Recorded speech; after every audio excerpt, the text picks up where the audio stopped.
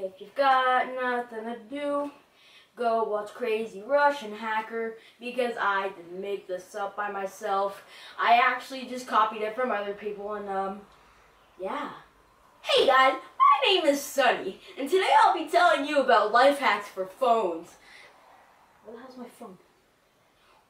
God damn it, where's my Today I'll be doing life hacks on phones. Now this life hack is called the spray life hack. You'll see why in a second. Alright, you have your iPhone 5 right here. I'm not even sure if this is an iPhone 5 or S.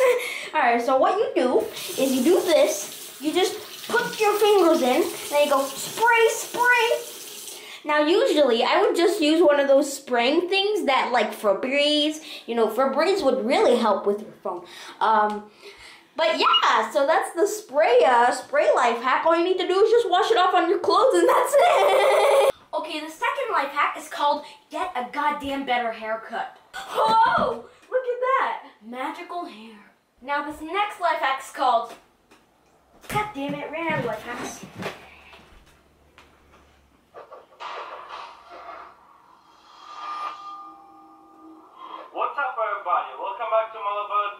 Okay, now this life hack is for knives, so be careful. Mom, where's my stabbing knife? I think it's in the basement with all the other knives. Thanks, Mom. You're the best.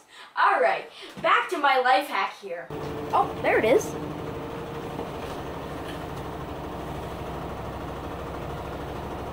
Now, where's my ex-boyfriend?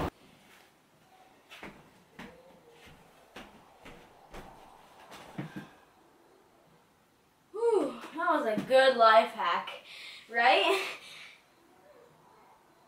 Why not? No, it's... Nah, the police would see that it's just kind of like, oh, it's that girl from Life Hacks for Kids on freaking, what's it called? I, I don't even know why I'm working for... Mom, can I quit this job?